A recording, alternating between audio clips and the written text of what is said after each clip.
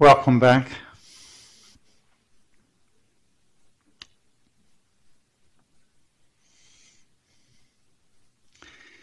Well, they're, they're working me ruthlessly here.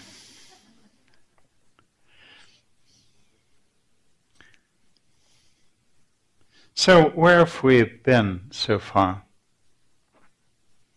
We've been returning again and again to this cherished image of listening and this practice of listening within ourselves, within one another, within the body of the earth. We've been reflecting on what it is to be part of a new birthing that is for our of Godness to come forth in radically new ways. We've been looking at some of the main characteristics of this rebirthing that is already stirring in our hearts and stirring in our yearnings. Last night we were looking at the yearning to come back into relationship with the sacredness of the earth, the sacredness that is at the heart of all things. This morning we've been reflecting so far on the yearning to come into relationship with the true wisdom of other traditions given to complete us. In this part of the morning, I invite us to reflect on coming back into relationship with the imagination. We are made in the image of the great imaginer. We are made in the image of the great dreamer. Thomas Berry, the eco theologian whom I was referring to earlier, said the universe is so amazing it must have been dreamt into being.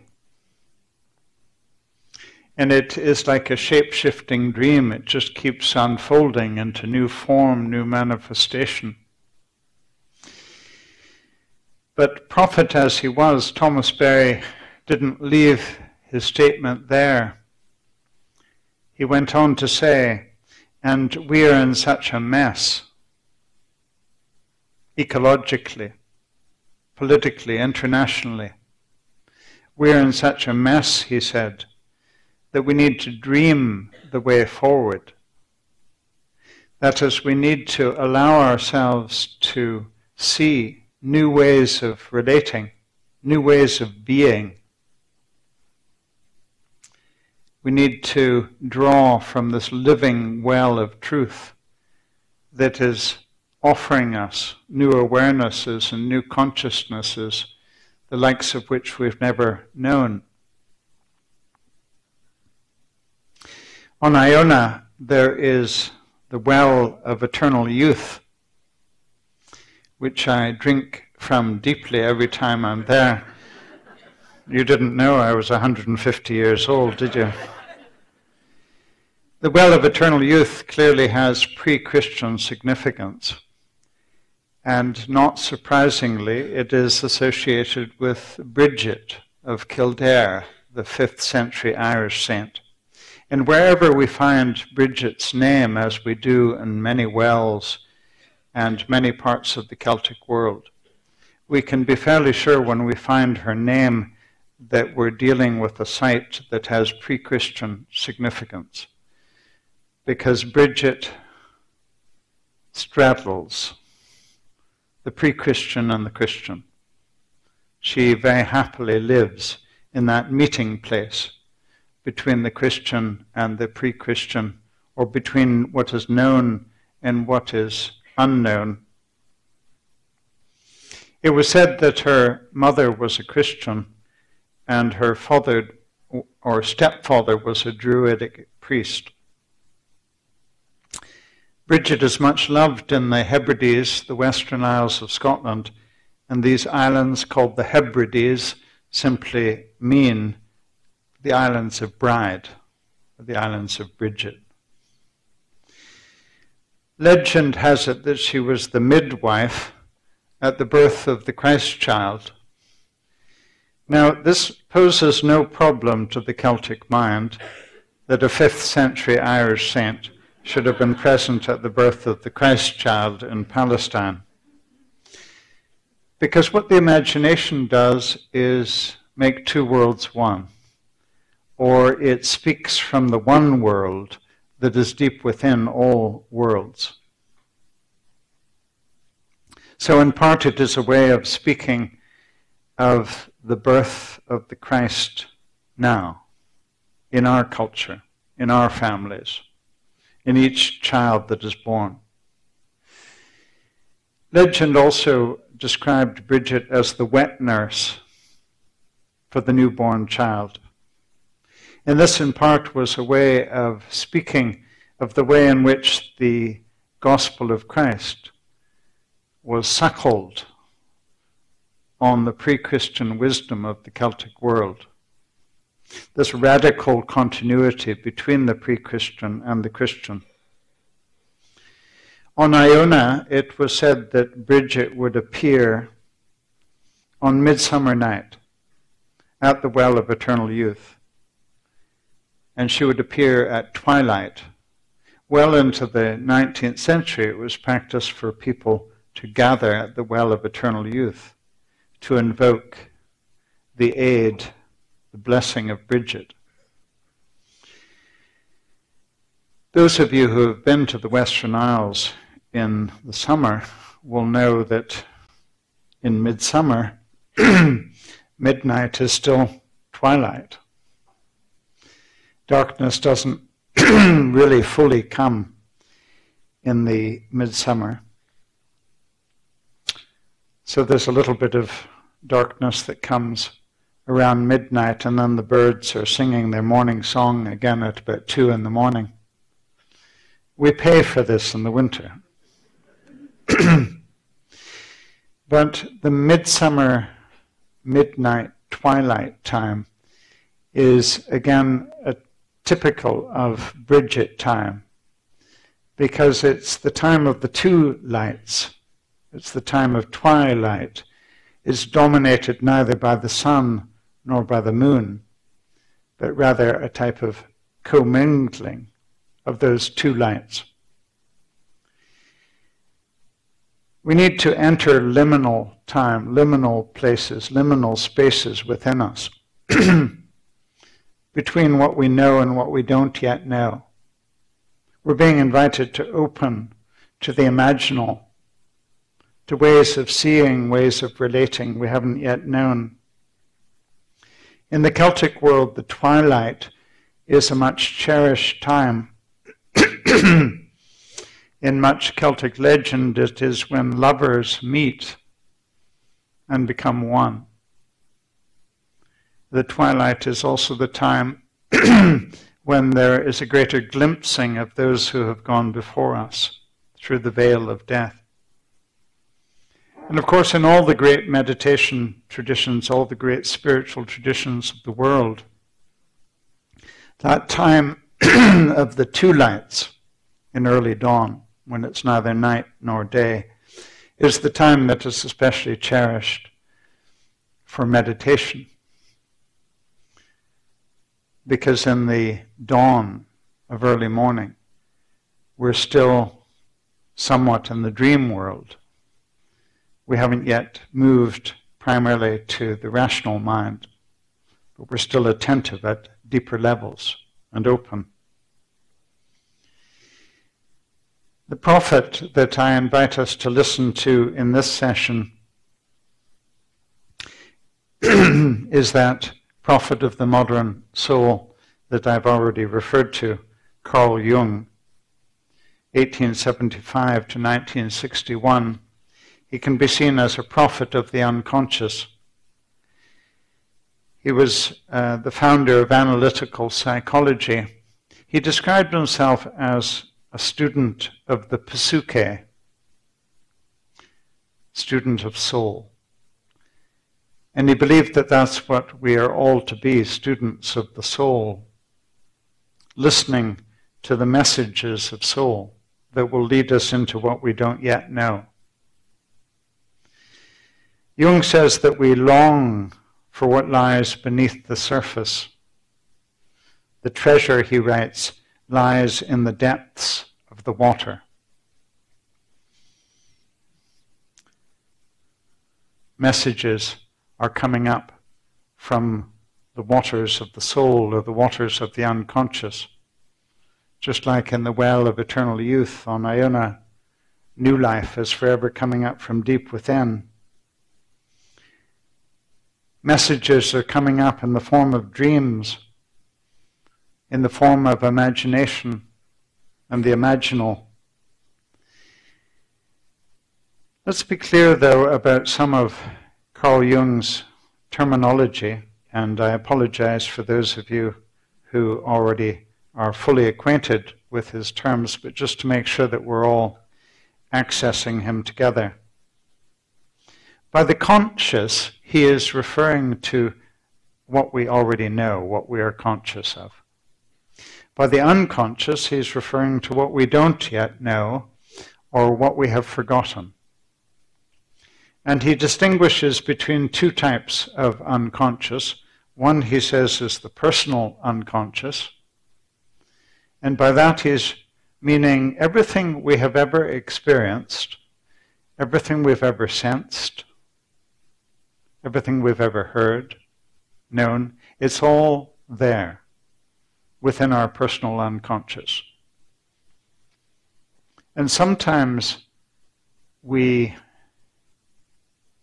find ourselves with the floodgates of the unconscious just opening, sometimes at moments of grief, other moments in our lives, when those floodgates open and we find ourselves remembering things that we had forgotten or didn't even know we knew.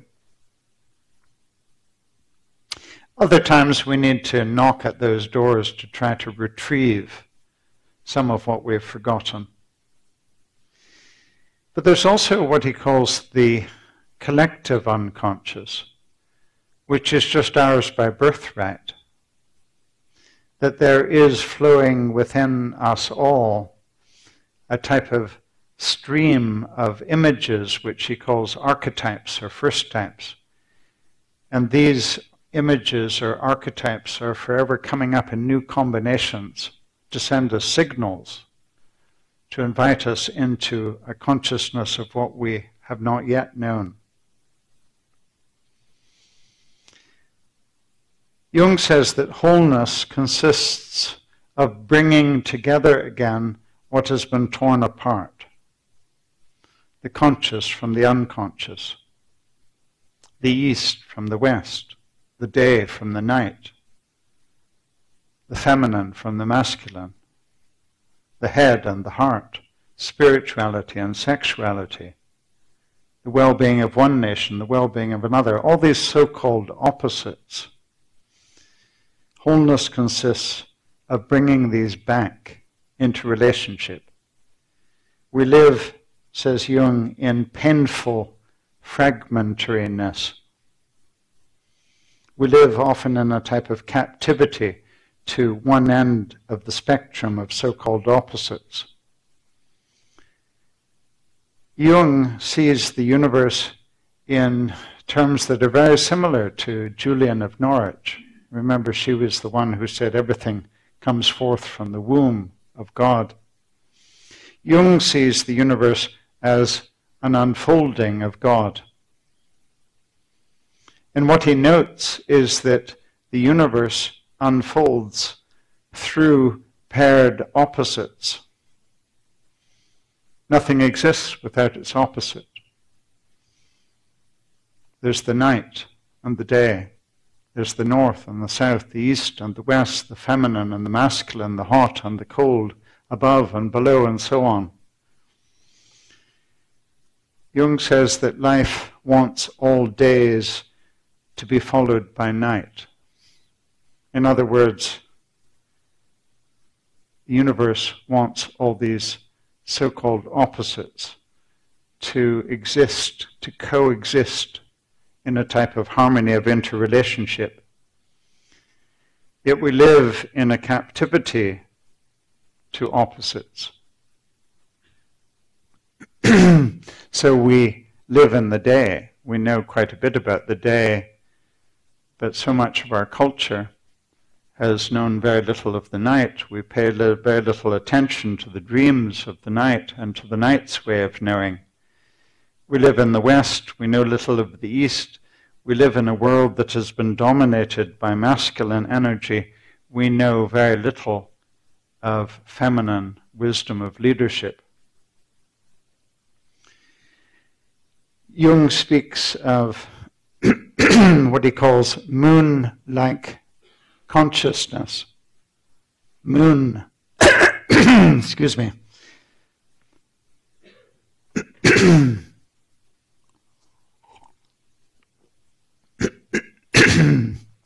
moon, it's getting worse.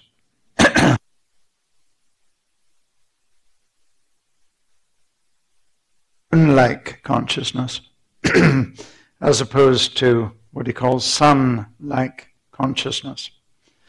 Think of what it's like walking under the fullness of the moon at night.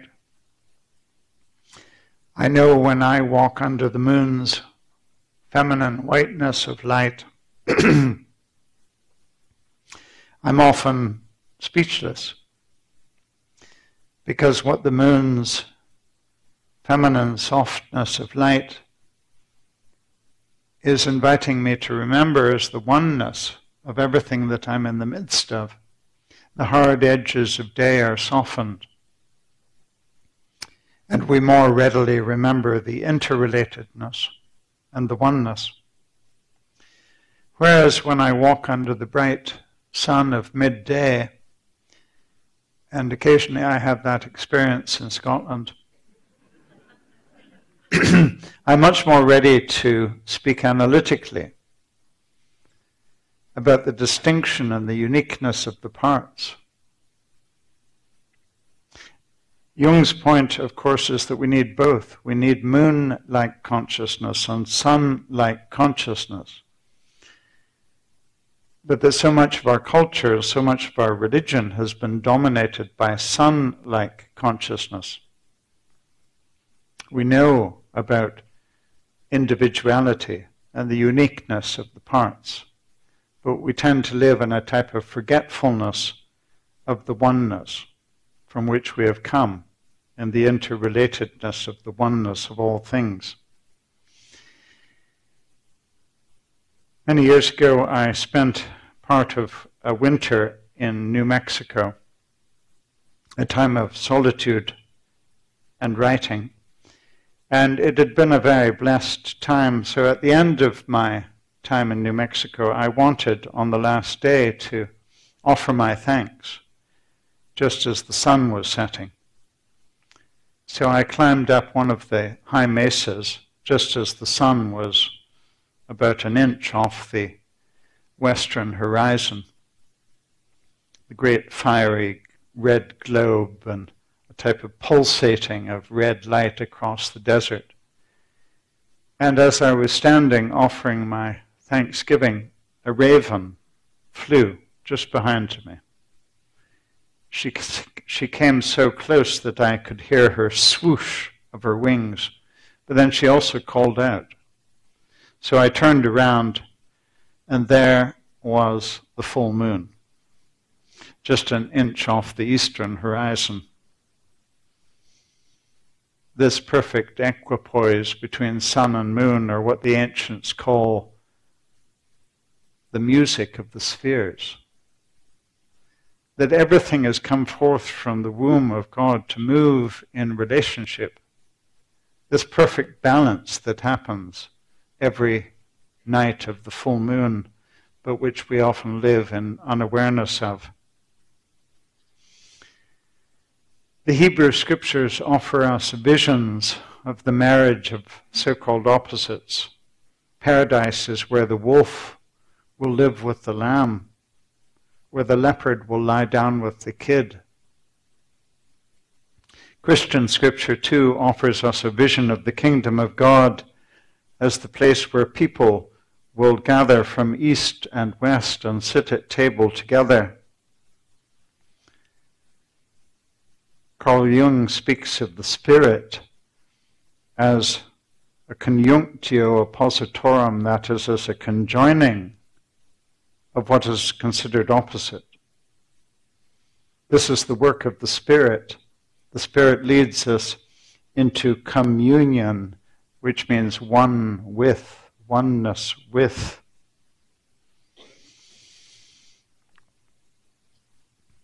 When I was part of the ministerial team at St. Giles Cathedral, I had a dream.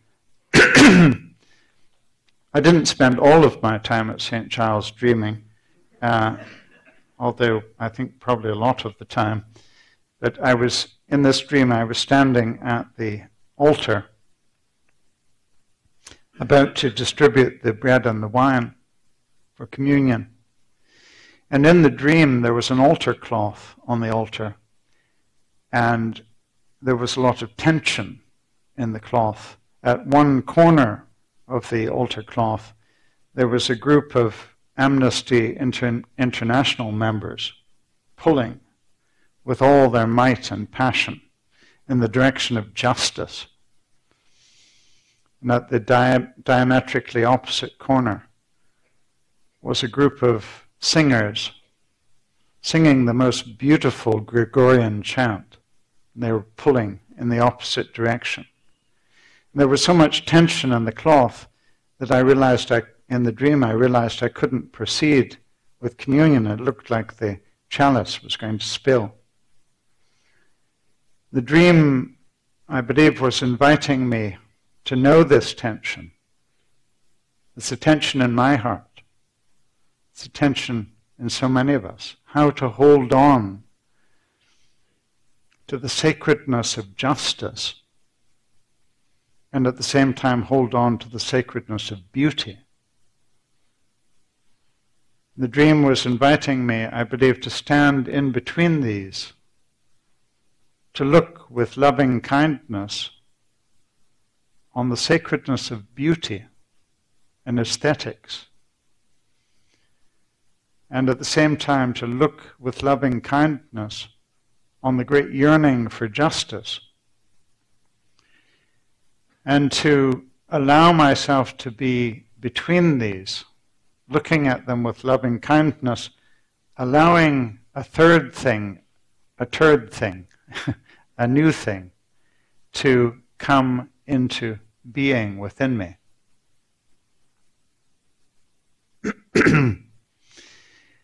Carl Jung says the devil is a dualist. The devil is forever trying to tear apart what belongs together. The devil is trying to tear apart what belongs together, the oneness of the universe. At this point in our morning, I invite us to begin to begin to, in silence, to name within ourselves what are these so called opposites in our lives? What are these things that we just can't imagine coming back into relationship? and perhaps we will begin to think of people.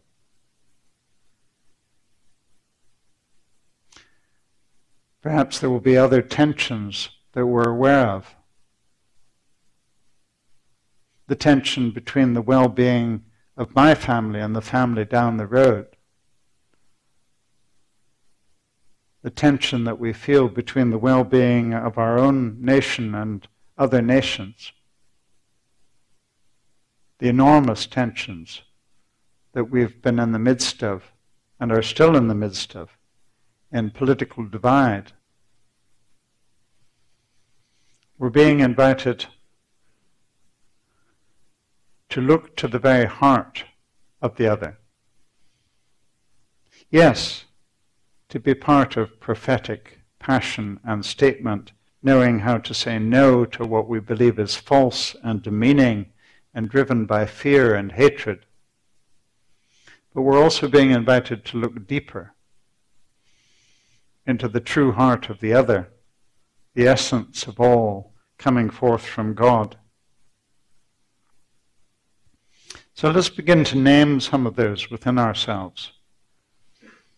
in a way that we can take it into some of our meditative practice later on this morning.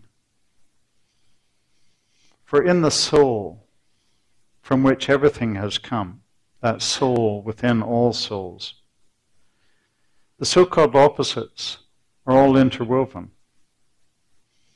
It's only out here in the conscious world that they've fallen into so called opposition.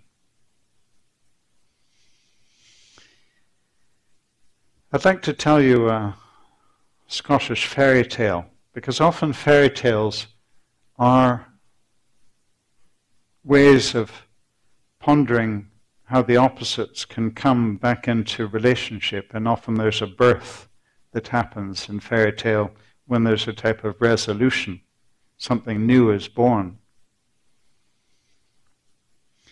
This fairy tale is by the Scottish writer George MacDonald, who in the 19th century was really the J.K. Rowling of Scotland. He wrote fairy tales and novels, and uh, his writings were massively popular. So one of his fairy tales was called Day Boy and Night Girl. Day Boy and Night Girl. And it's a tale of bringing back into relationship what has been torn apart. In the case of this fairy tale, it's what Carl Jung would call the supreme pair of opposites, the feminine and the masculine, which doesn't equal just male and female, but rather speaks of feminine energy and masculine energy that is deep within all things, but which often gets separated. The fairy tale begins by describing a wicked witch that has a wolf living in her heart. And what the wolf wants to do is rip apart what belongs together. And already in the tale, we learn that the witch has torn apart the heart of a royal family by stealing at birth their firstborn child, a boy, and giving the family the impression that the child has died in childbirth. But she has taken the boy and holds him in imprisonment in her castle. She's done to the, the same to a family of humble origin, in this case, a girl. She's taken the girl also to the castle, and she keeps the boy and the girl in separation, so they grow up not knowing of one another. The boy has golden, wavy hair like the sun, blue eyes like the midday sky. He's taught to read and to reason and he spends much of his day out hunting the creatures. He's never allowed by the witch to experience, to fully experience the night. He's allowed only to experience the day. The girl, on the other hand, has jet black hair, dark, dark eyes. She's not, she's not taught to read or to study. She is taught only music. And she's never allowed to experience the day, only the night. And she spends her nights out roaming in the forests, being with the creatures that the prince hunts, that the boy hunts, now a young man, a prince hunts during the day. the turning point in the tale comes when one day the prince out hunting a lion follows the lion into the forest just as the sun is beginning to set. And on this occasion, he doesn't turn back to the castle before the sun sets. So when darkness comes, this normally brave prince is terrified by the night and driven mad by the darkness, and he flees back to the castle and collapses in the garden courtyard of the castle. And there he is discovered by the girl who is now a young woman. She has never seen a young man before. So she's both frightened of the unknown, but immensely attracted. And she holds the prince, holds his head on her lap, and soothes him. when he regains consciousness, he too is startled. He's never met a young woman before. But he's also deeply attracted. And it's together that they discover that they have been living half lives, that they've been held in this sort of uh, captivity to opposite ends of the spectrum. And together they plot their escape. And it's agreed that the young woman will guide them in the intimacy of the night that so terrifies the prince. And the prince will guide them during the day under the bright light of the sun that so blinds the young woman.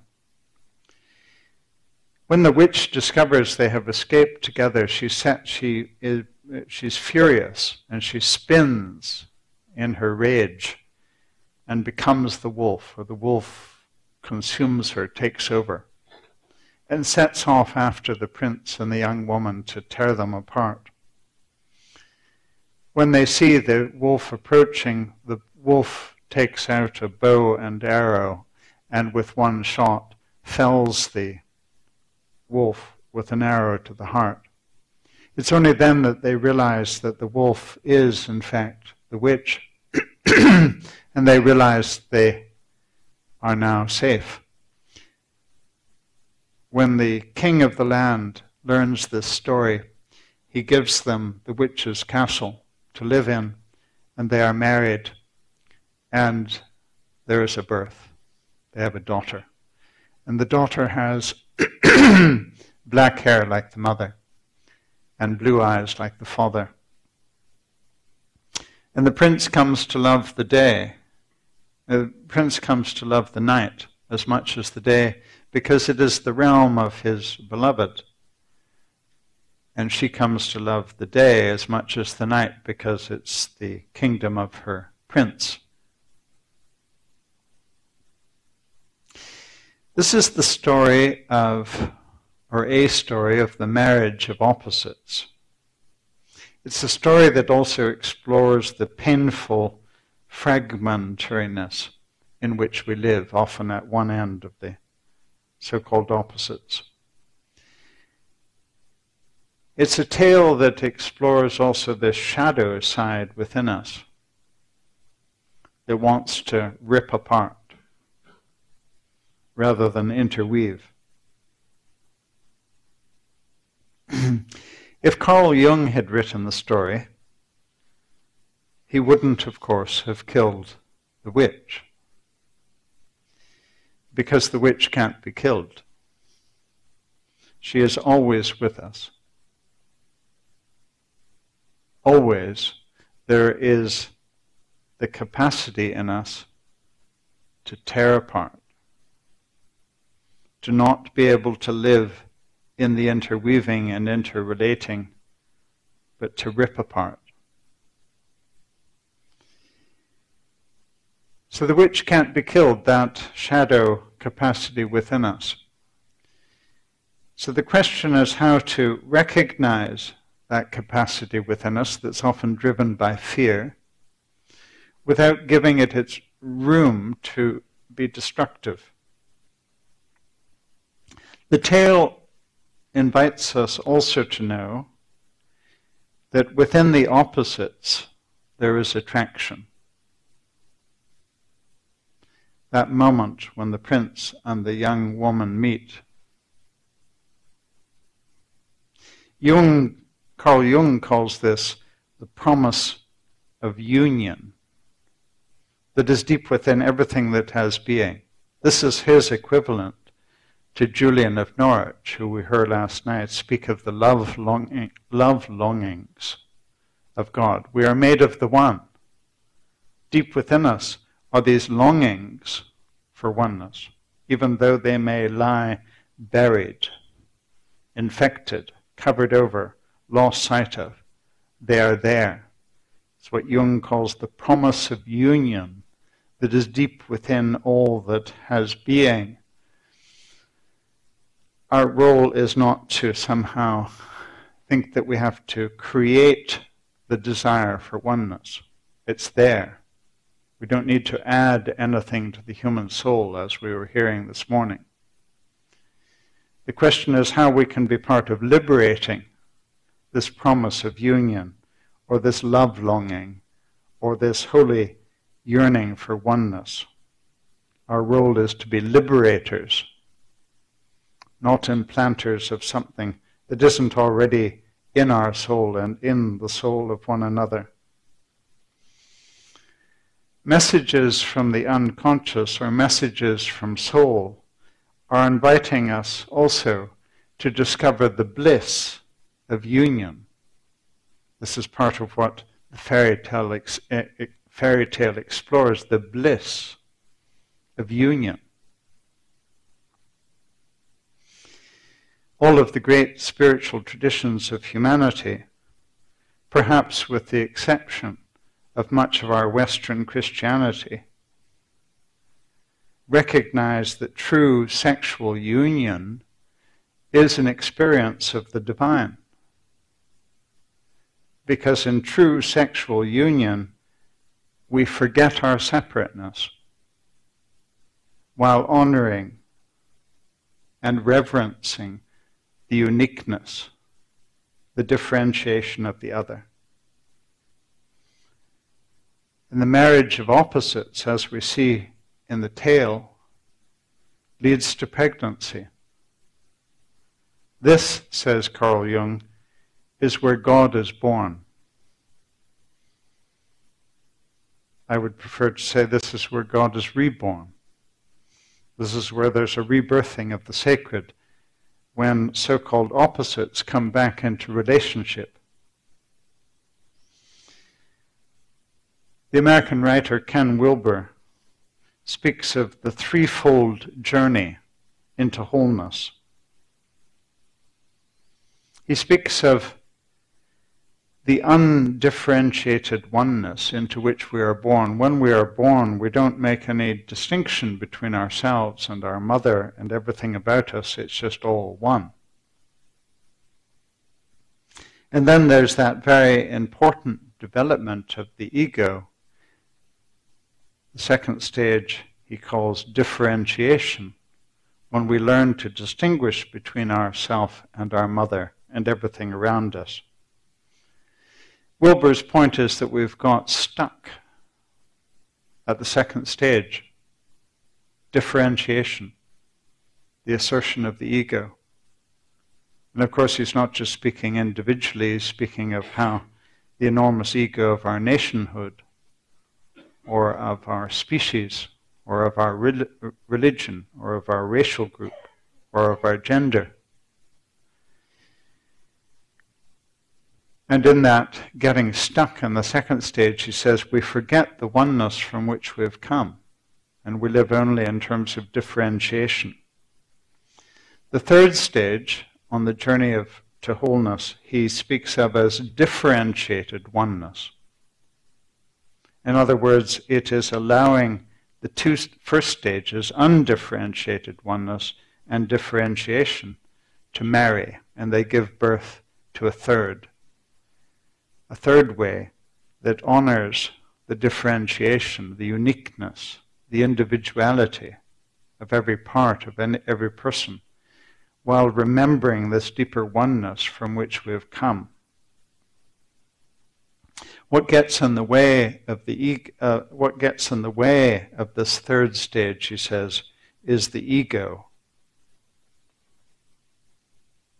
Carl Jung says that we need to celebrate a last supper with our ego. And not just once, but again and again and again. This is not about hatred for the self. This is a knowing that the ego claiming to be center is obscuring true relationship because it keeps forgetting the oneness that we are of and the oneness that represents our way of well being. Right now, I can celebrate a Last Supper with my ego. I can turn my heart's attention to the heart of you. I can do it right now.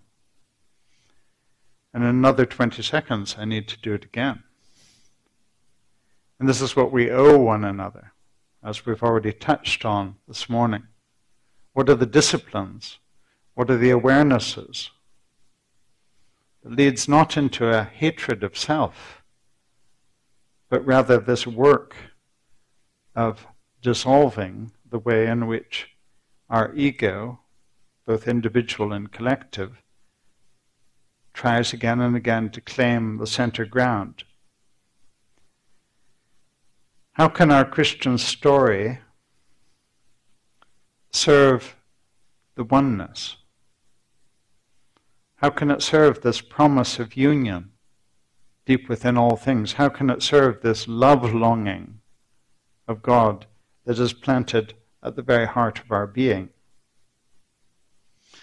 Part of what we are being invited to do at this moment in time is to dream our myth onwards, to allow ourselves to imagine new ways of seeing, new rituals, new teachings, new practices, to allow our Christian story to rise in ways that will carry great blessing for the world. Carl Jung says God refuses to abide by tradition, no matter how sacred. Why is it we have ever thought that we, as a Christian tradition, have some sort of right to perpetuity? Why should we have any right to perpetuity? If we are not unfolding, like the rest of the universe, if we are not bearing blessing for the world's unfolding and journey, we have no right to exist. Life is a flowing, it's not a stoppage. And if Christianity is to be part of this holy work of transformation, we're being invited to open to what we've never known before and to be in new ways for the world. Just as in sleep every night we descend into the unconscious in order to be renewed. So our story needs to re enter the imaginal, to be born anew. I remember one of the first times I taught with Rabbi Nahum in New Mexico. And I heard him saying to some of our participants, he said, Now, when Philip teaches, it comes out Christian, but it goes in Jewish. I agree, but in reverse. When he teaches Torah, he feeds me. He feeds my devotion to Jesus. How do we do this? We've been trained to think of ourselves as opposite, in competition. But in fact, we've been given to deepen one another, to mature one another. The first time I taught with him, I was teaching in the mornings, and then he was teaching Torah in the afternoons. And on the first morning, Nahum was there to watch a bunch of Christians primarily wrestle about the doctrine of original sin. So in the afternoon, he began Torah study by saying, We Jews don't have doctrine. What we have is the story. And every time we go back to the story, it says something new. Because every time we go back to the story is a new moment. And if you haven't studied Torah with a rabbi, I would, I would encourage you to seek out the experience. Because one of the beautiful aspects of study of Torah in the Jewish tradition is that no, no question is barred. No question is, is inhibited. We can ask anything of the story. There are no right and wrong questions. And we ask questions in order for the story to speak right into now. Whereas what we've done with Christian doctrine is that we've nailed down the story. We've tried to nail it down. We've taken the garden, the story of the garden, and humanity's temptation and faith, faithlessness. And we've said, oh, that's what it means. It means the doctrine of original sin. So we nail it down. We kill the story. We don't allow it to speak anew. We take the story of the crucifixion of Jesus, we nail it down. Oh, yes, it means substitutionary atonement. We don't let it breathe, we don't let it speak because we've decided that we know what it means. Jesus was a Jew. Guess how he taught?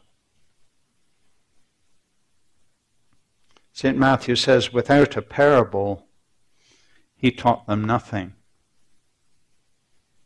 It was story after story after story. And often he would end his stories by saying, Decide for yourselves what is true. What's the story saying now? Often religion avoids this descent into the unknown world of soul. Because from the soul we may be called to do what we've been trained not to do. Messages from the soul may call us to cross boundaries that have been taught as inviolable. We might be called to cross boundaries of nationhood, to begin to care for the well being of other nations as we care for the well being of our own nation. We might be called over boundaries that have separated us as religions, as classes, as races. This is exactly what we see happening in early Christianity Remember Peter's dream in Joppa? It's midday. He goes up onto a rooftop as lunch is being prepared. He has a dream. And in the dream, he sees a great sheet being lowered from heaven. It's four corners. And in the sheet are there are creatures of earth, sea, and sky and the voice addresses Peter Peter, take, eat. And Peter responds as a good religious boy. He says, But Lord, I've never eaten what is unclean. And the voice responds, Do not declare unclean what I have created clean. Do not declare unsacred, what I have created sacred. Peter doesn't get it. So the dream needs to come three times. And we're not getting it. We keep dividing. We keep wanting to say, but surely our nation is more sacred than another nation. Surely. I keep doing it as a father. Surely my family is more sacred than the family down the road. Surely I should be more committed to my family's education and health, even if it means the expense of the health and education of the child down the road. That's what my culture and religion has told me good fatherhood is. We're being, to break, we're being invited to break out of these boundaries. And messages of soul, messages that come from the oneness of our origin, are inviting us into territory we haven't known. Messages are calling us into a big stretching to take on the labor pains of a new birthing.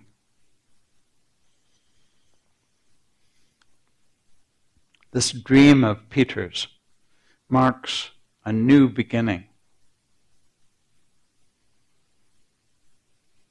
If the Christian story is to live again, we need to access the imaginal world of the unconscious, the imaginal world of soul. We're being invited to allow the story of Christ's birth to be reborn, to point not just to one child 2,000 years ago, but through that beautiful and cherished story to point to the heart of what is happening in the birth of every child. As Anthony de Mello, the Indian Jesuit, used to like to say, listen to the song the angels sang the day you were born. Listen to the song the angels are singing right now at the birth of every child. We're being invited to allow the story of the empty tomb to be reborn through that cherished story of resurrection that we receive, to look for it deep within every ending. As Oscar Romero of El Salvador said, when the military junta of that country was threatening to kill him because of his calls for justice and his work for his people, he, he said, If they kill me, I will rise again in the people of El Salvador. Anything that is of God, anything that is filled with true vision for justice, anything of God's wisdom, even when pushed to the ground, it will rise again. We are a resurrection people. We're being invited to allow the story of Pentecost to be reborn. Carl Jung calls it the Christification of the disciples. When they discover that the Spirit that was in Christ is also in them and in Jerusalem, where people are visiting from all of the world. They speak a language, a new language that can be understood by everyone visiting Jerusalem. We are being invited to speak from a place of oneness that will communicate beyond the boundaries that have separated us.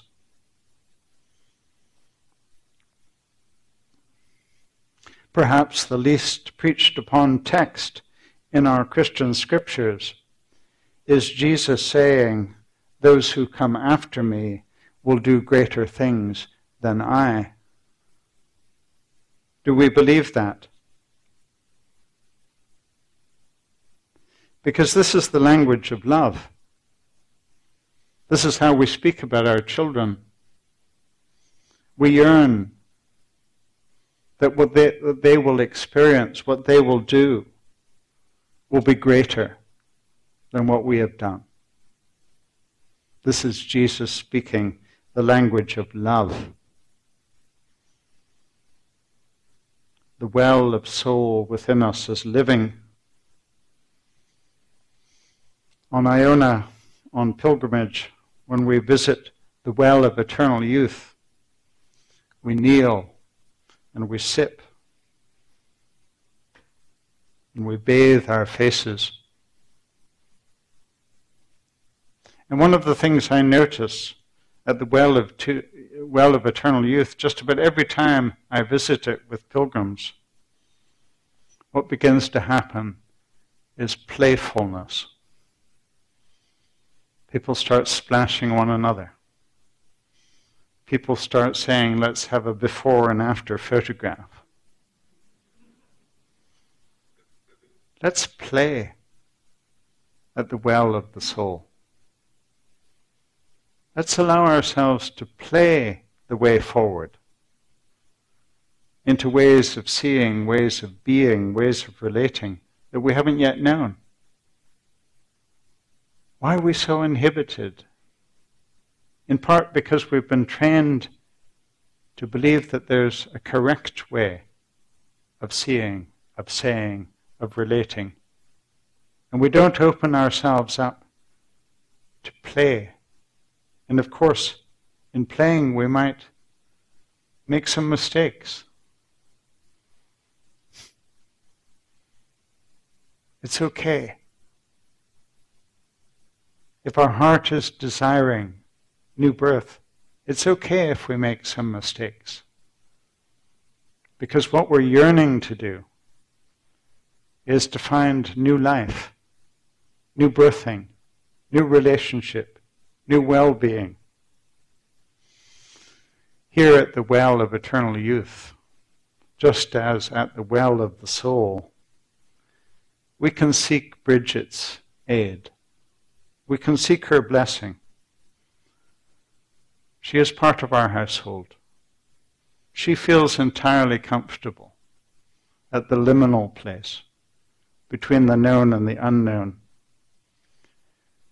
Her feast day is the first day of spring in the Celtic calendar. In the Celtic world, it's called Imbolc, I M B O L C, but pronounced Imolc. And what it means is in the belly. That's where new life is. It's in the belly of the earth, waiting to come forth in the spring. It's in the belly of the soul. New life. Wanting to come forth. We may not yet see with definition all the features of what is trying to be born, but it's stirring, it's wanting to come forth. Think of Peter at the first Christian Pentecost. He said, Our young will see visions, and our old will dream dreams. There's a lot of white hair in this room. Guess what we're being invited to do? We're being invited to dream dreams.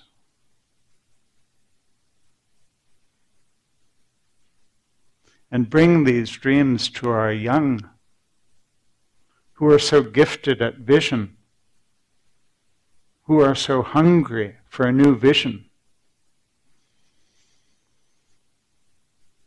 And this is new birth. This is not just resuscitation of the old. Carl Jung makes the wise observation in looking at the Easter story in the Christian tradition. He says, The risen Christ is not found where his body was laid. This is not resuscitation. This is the radicalness of resurrection.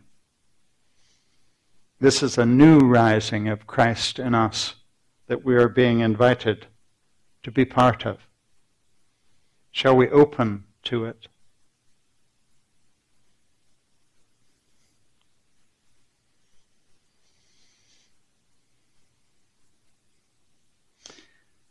I invite us again to move back into a chant before we begin to do some hearing from one another.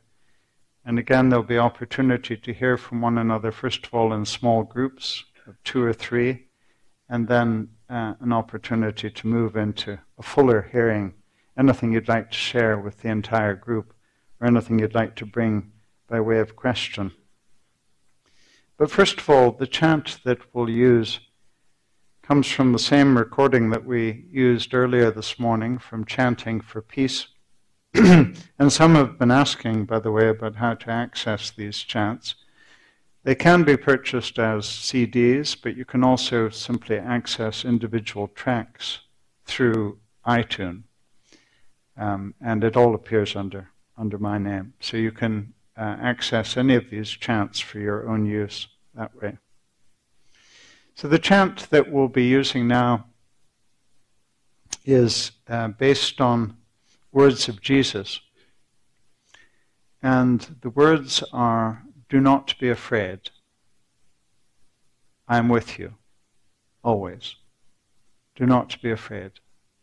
I am with you, always. And you'll hear uh, a descant running through the chant, and it's in Aramaic, the language of Jesus. And what you'll be hearing is Allaha Hea, Allaha Hea, which means God is life, the life within all life. Do not be afraid. I am with you always. After we sing the chant, I invite us into a few moments of silence just to continue the discipline after the chant. And during that time, just pay attention. Not so much a thinking about the themes, just pay attention to what is trying to stir, what's coming up from the well. Our chant, words of, based on words of Jesus, do not be afraid. I am with you, always.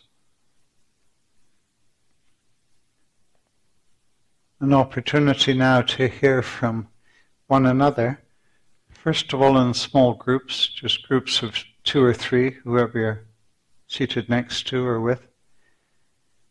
A time to share what's been calling your deep attention, what's trying to come up, uh, what's shining for you. And if uh, we do that for a number of minutes, and if you could keep half an eye up here, and when I raise my hand, if you could raise your hand and bring to a close what you're sharing, then we can move back into the full group. And there are uh, roaming microphones, and if there's anything you want to bring into the whole group by way of observation or question, that's the time to do it. But first of all, small groups. What's moving within you?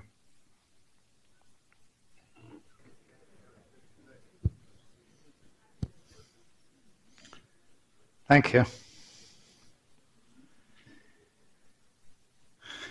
So we have two roaming microphones, one on each side. If you, uh, if there's anything you would like to share, comment on, make observation about, ask a question, if you could raise your hand and we'll make sure that you get a microphone.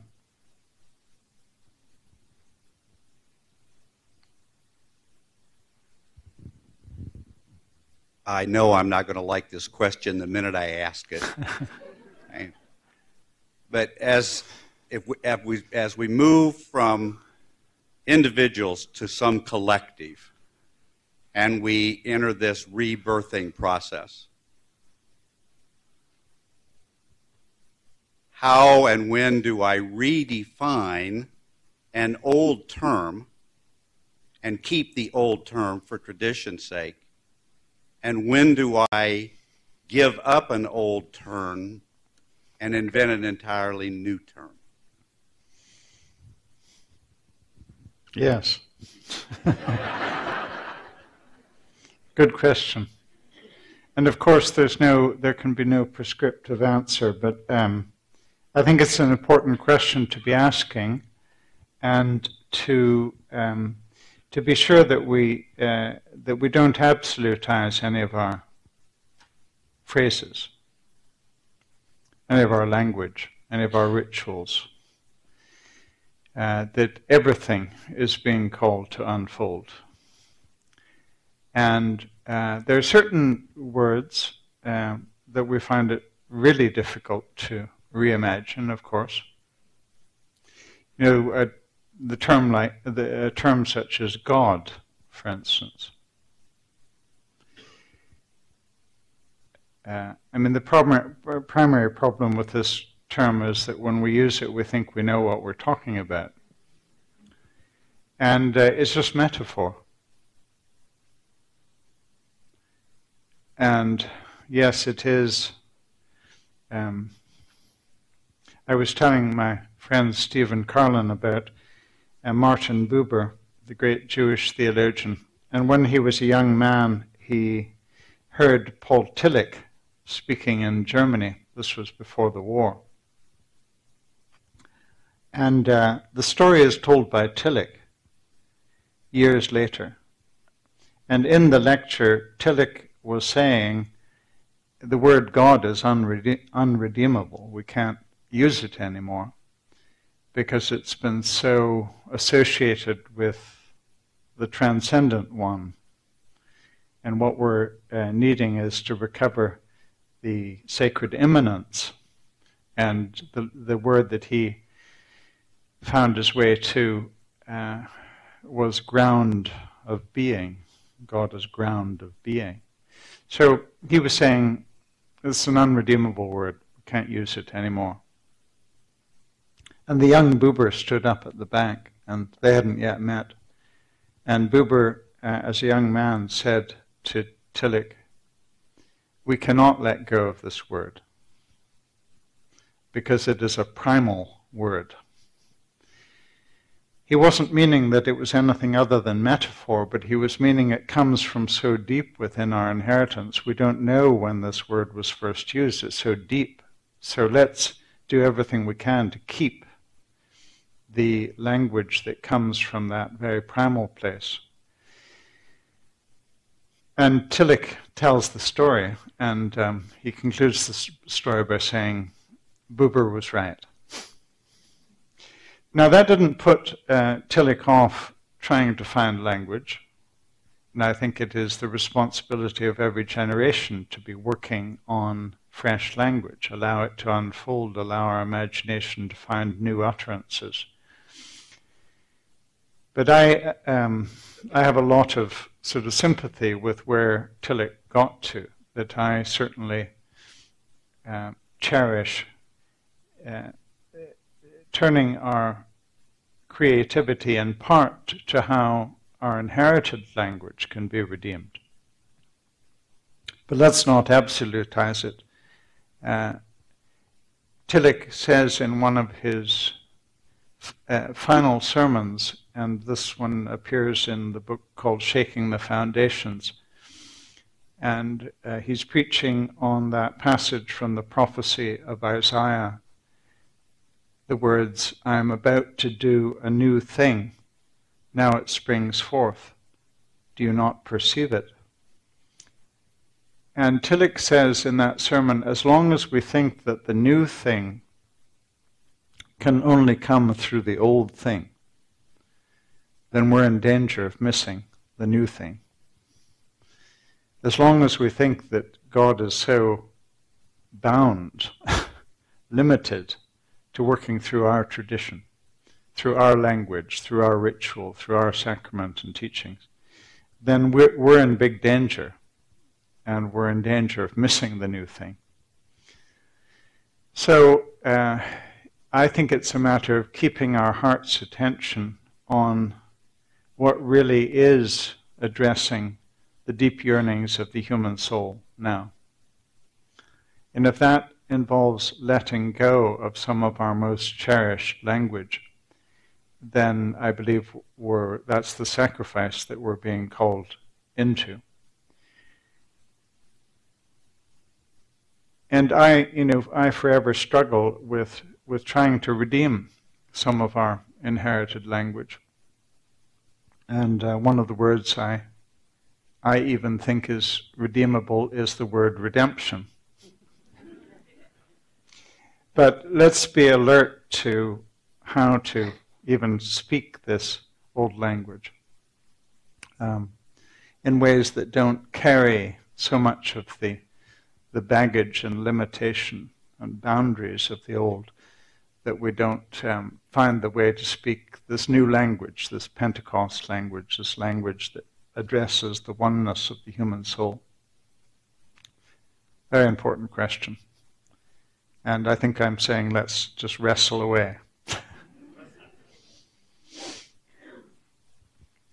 Before, before we leave this place, I hope we'll hear from Sophia, the wisdom. Yeah, right here, the second row. And I, I see one. One of the latest books that uh, Marcus Borg wrote before his untimely death. I don't remember the title. I wonder if you can turn the mic slightly so that it just goes right directly to your. That's it.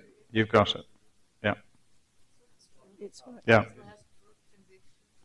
Uh, I don't think so, but it dealt completely with the subject of, of Christian language. Yeah.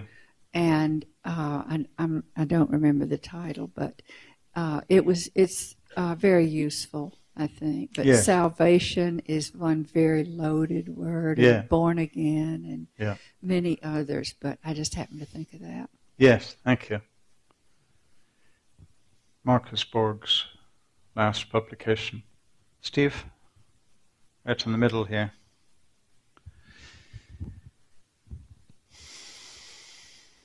I've heard the story of uh, your daughter who danced in India a number of times, and it really uh, captures my imagination. But I think that uh, since, as you pointed out, there's much white hair here, many, many years of tradition and, and uh, wisdom, uh, I think all we have to do is really think of what our children and our grandchildren are doing as evolutionary or revolutionary or different uh, they will all be fine, and and they'll do things differently than we have.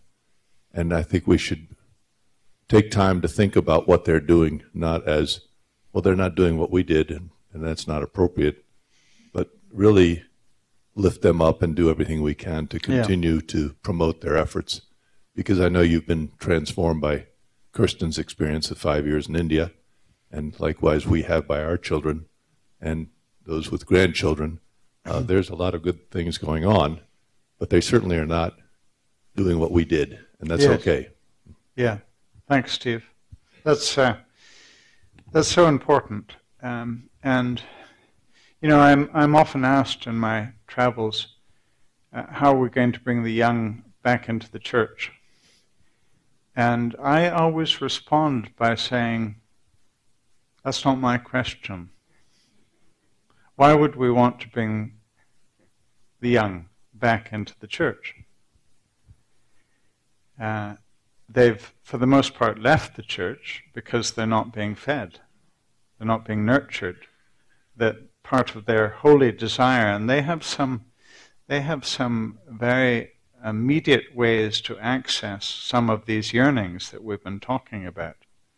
They much more immediately, uh, many of them are are looking to live in relationship with the sacredness of the earth. Many, our generation has had to learn, um, learn our way out of some of our cultural inheritance and education to relearn the sacredness. Similarly, with other wisdom traditions, what I see my um, the, the generation of my children doing is just, of course, you know, uh, if Buddhist practices around meditation offer me an access to a greater awareness and compassion. You know, of course, you know, so that they, they, whereas some of us have had to really struggle towards breaking out of boundaries.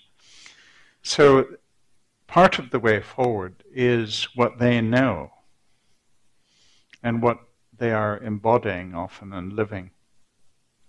And we need to be in relationship with that with them. And that is my passion that we should find ways of being in relationship with them. True, reverent uh, relationship. And whenever there's relationship, uh, as I was trying to say this morning, when there's true relationship, there will be pregnancy. Something new will be born. And um, so the priority for that, for us and that younger generation, let's seize every moment of being in true relationship.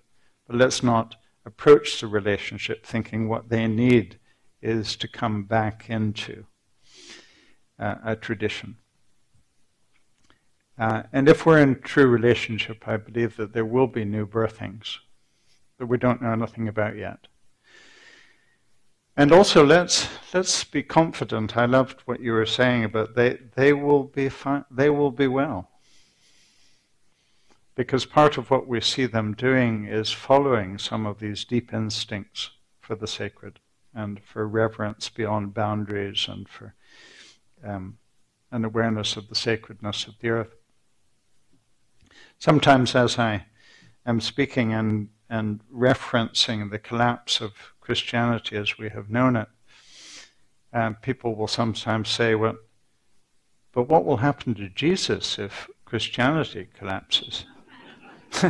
and I say, we don't have to worry about Jesus. I mean, he's all about resurrection. I mean, that's what that's what Jesus does, right?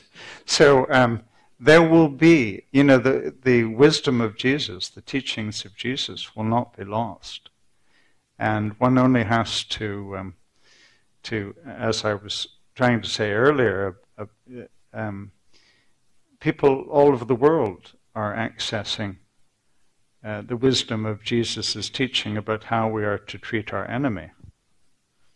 And um, so Christianity is not doing much to hold that one up.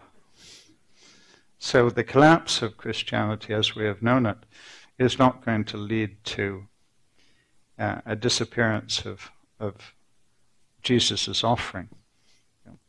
Thank you.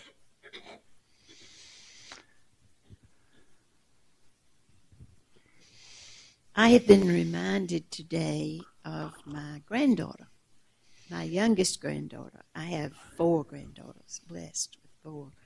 But she, she is 19 now and she is a sophomore in college. And the whole family kind of prayed Madeline through school, I think, because she would be a good scholar and then all of a sudden get tired and just kind of you know, drear away.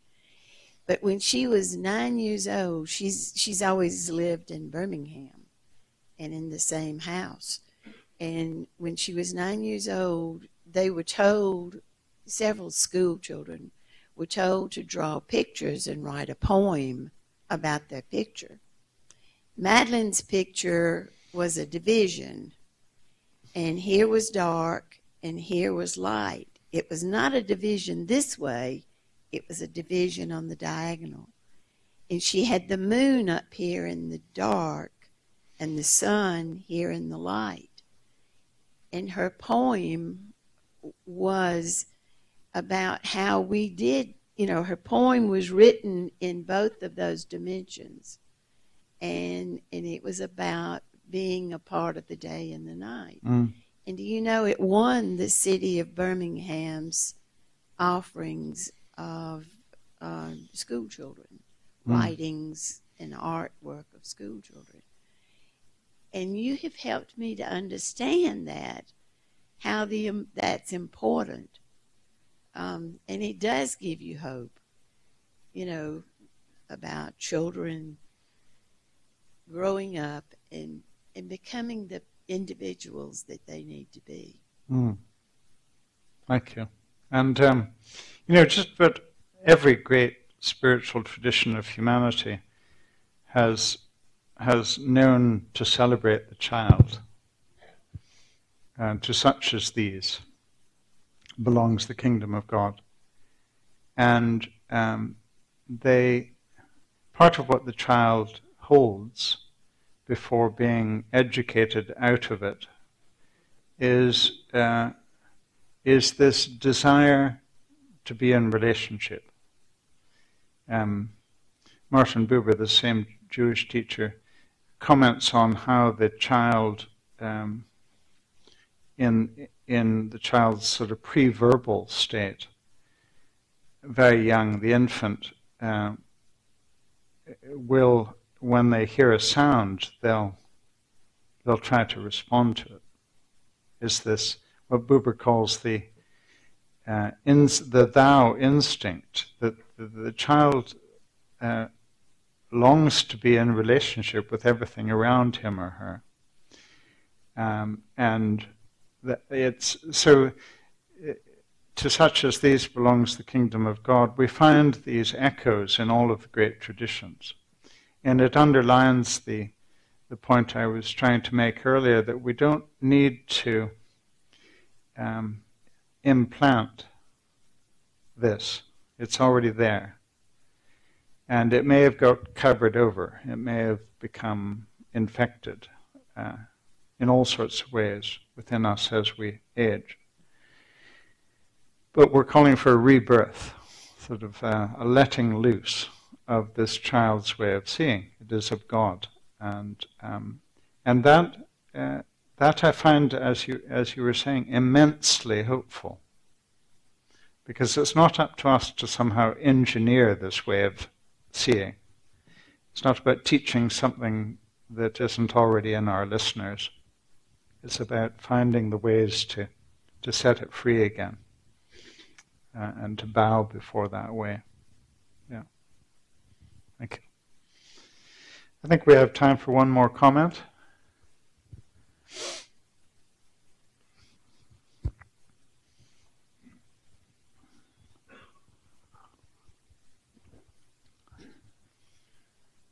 One of the things I found as I get older is that I become a more and more uh, believer in Gomer Pyle's doctrine of God.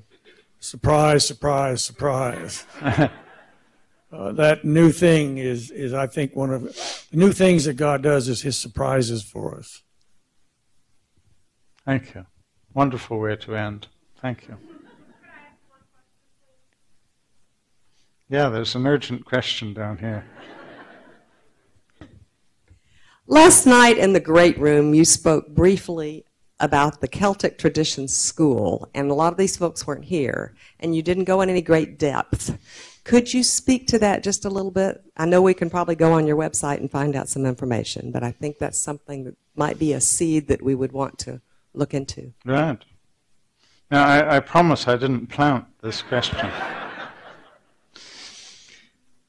One of the things we're just on the sort of verge of setting in place, and it'll start happening in 2017, are, um, is the School of Celtic Consciousness. And this will be meeting in four places in 2017. These are three day events. We're calling it a school rather than simply a retreat because we envisage that uh, people will come back year after year to do three things really. One is to um, deepen our vision by receiving from some of the great teachings uh, over the centuries in this in this tradition of Celtic spirituality, and and this is you know not not to become a Celtic fundamentalist and say that this is what everyone needs, but this tradition does hold great treasure for now, for this moment in time. So the school is designed to deepen our uh, accessing of that wisdom and our and allowing that wisdom to be a major resource for our thinking and living today. So, one is to deepen understanding and vision. The second is to deepen spiritual practice uh, in relation to this vision. Um, in other words, to access the strength of soul that we've been speaking of. What are the simple practices that we can be part of, both individually and collectively, that can help us um, daily and repeatedly access that soul strength? that is within us, made of God.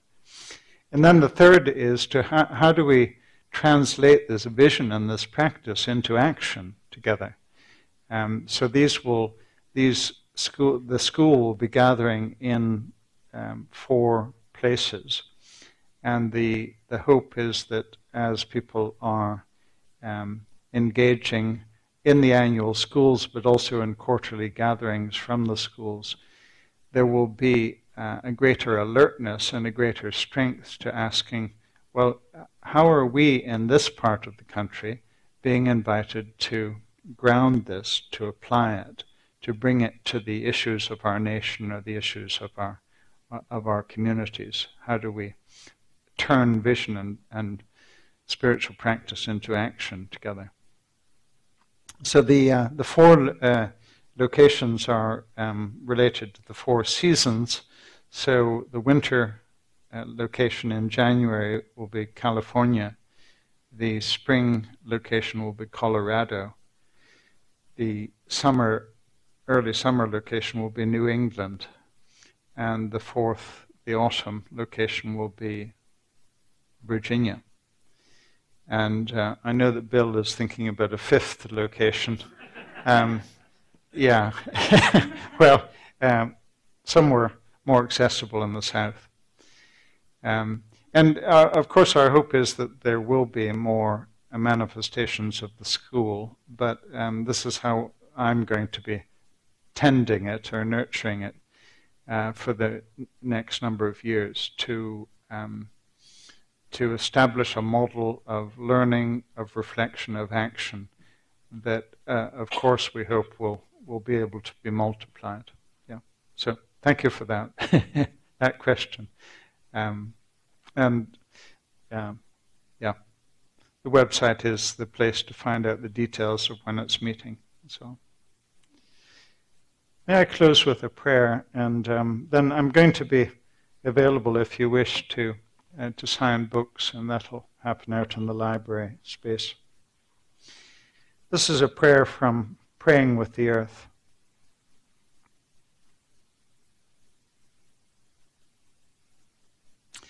to the home of peace, to the field of love, to the land where forgiveness and right relationship meet, we look, O God, with longing for earth's children, with compassion for the creatures, with hearts breaking for the nations and people we love Open us to visions we have never known. Strengthen us for self givings we have never made. Delight us with the oneness we could never have imagined, that we may truly be born of you, makers of peace. Amen.